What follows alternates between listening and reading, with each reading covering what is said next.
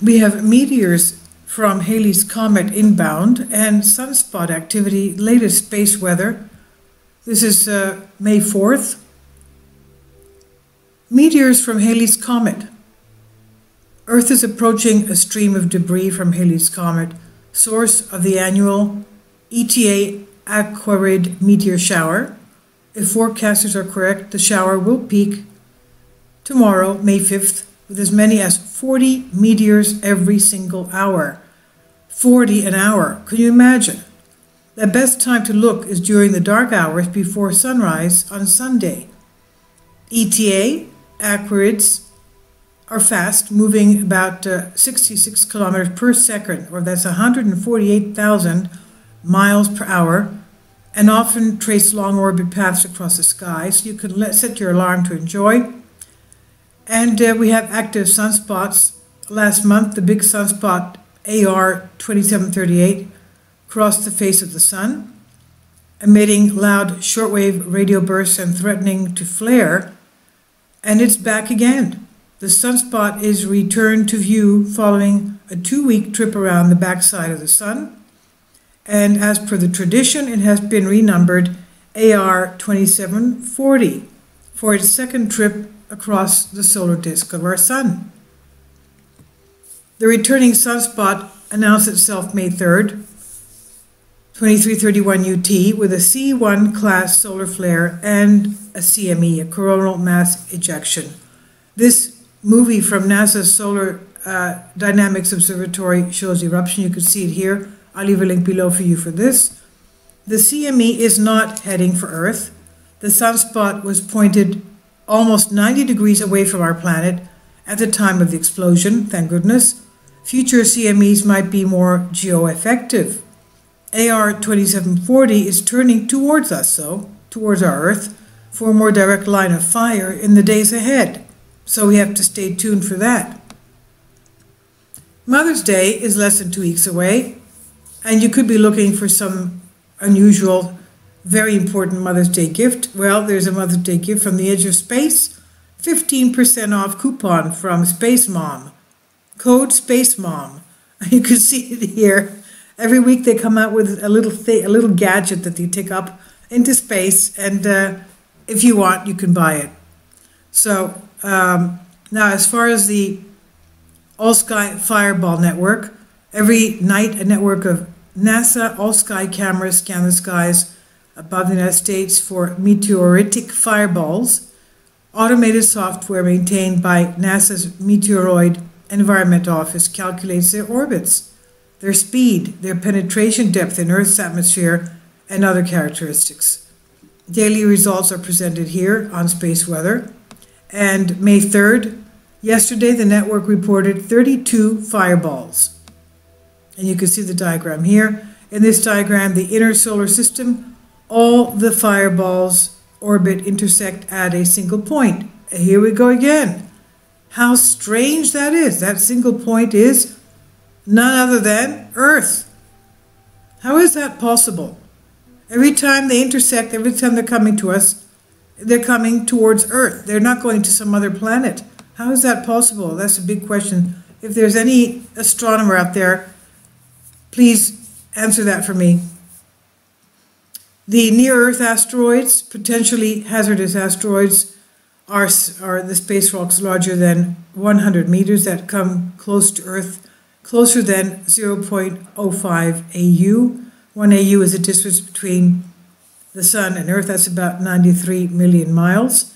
None of the known PHAs, potentially hazardous asteroids, is on collision course with us, although astronomers are finding new ones all the time. And then we have the ERAD, that's something new, the cosmic rays in the atmosphere. And they seem to have increased about 20% in the last, what was it, 20 years, 18 years, 18% the past 20 years. That's it seems because of the fact that something is happening to our electromagnetic field and it's allowing, it's, it's lessening, it's weakening, which means that there's a lot more cosmic rays coming into us. And that's very bad news. So they've developed a new predictive model of aviation radiation. It's called ERAD. constantly flying radiation centers on board airplanes over the United States and around the world, and so far collected more than 22,000 GPS tagged radiation measurements. And using this data set, they predict the dosage on any flight over the US with an error no more than 15%. The hot flights table, as we can see, you can see here if you want, well, the more hours you are and the higher up in altitude you are, the more uh, radiation you're going to get. Uh, the bottom five commercial flights are United 810 from Washington to Chicago, uh, SkyWest again, Washington, Chicago, Southwest, Los Angeles, San Jose. Again, Washington, Chicago, because that's only what is it's uh, an hour 40 minute flight. Then, as you increase your flights or even the altitude, flying altitude, those flights, uh, Washington, Chicago, are at 24,000 feet and 22,000 feet. Then when you go to commercial flights that are around 36,000 feet, you increase your dosage to about 38.1.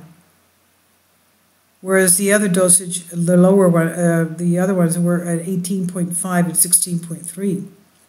So you see, you go up 10,000 feet, your dosage is increased twice, twofold. And then when you go up to 41,000 feet, your dosage increases from 38.1, it goes to 60.8. It's almost, almost double every time you go up 10,000 feet. And then when you go, that's um, Chicago, New York. It's not the distance, the, the time is uh, just about the same, an hour, 37 minutes. It's the height, the altitude. Then when you go to the charter flights, uh, what is it? commercial flights or charter flights, the ones that are at 47,000 feet. For example, Los Angeles to White Plains, or Van Nuys to Teterboro, or Teterboro to Los Angeles. Okay, that's anywhere between four and a half to five hours flight. That's at around 45 to 47,000 feet. Your dose rate is at between 73 and 78 so you see how, and when you fly a lot higher than that, what happens? Your dose rate is over 100, I would imagine. If you're at 60,000 feet, I don't, I have no idea. For the inter, we're talking about the international flights, they're much higher than the domestic, the um, national flights, the domestic flights. Now, um, then you have the space weather balloons that go up, having to do with the radiation. Mars 2015 to July 2018. Yeah, I was wrong. It wasn't a 20 year period. It's an 18% increase in a three year period. I said 20 years, and that was wrong. It's from the end of December until it's, it's basically it's not, forget the end of December, December 20th, forget December. It's three, it's 15, 16, 17, 18. Four years, yeah. Four years stratospheric radiation March 2015 to July 2018, four years, is up 18%.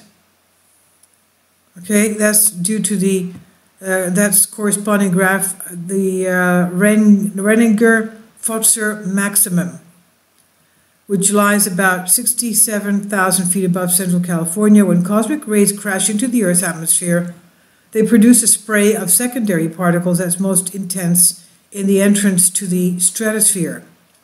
Physicists Eric Renninger and George Pfotzer discovered the maximum using balloons in the 1930s. So, uh, okay, so we went through the uh, hot flights and we're in for a treat tomorrow morning. Uh, I will be sure to see them because I'm going to be going very early to get up to go to church and I have to pick up the priest to take him to the church first. So uh, I'll be able to see them. I'll make a point. Okay, so uh, I'll leave a link below for you for this on space weather. Thank you.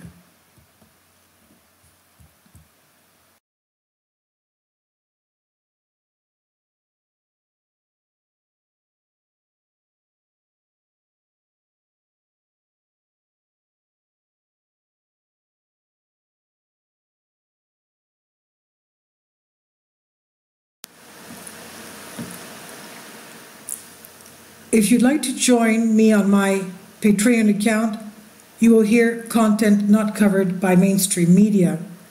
These riveting stories will be based on my research, and I will state my opinions and give my personal insight on diverse and controversial subjects and world events, events not covered by mainstream media, and not certainly on, not supported by YouTube guidelines.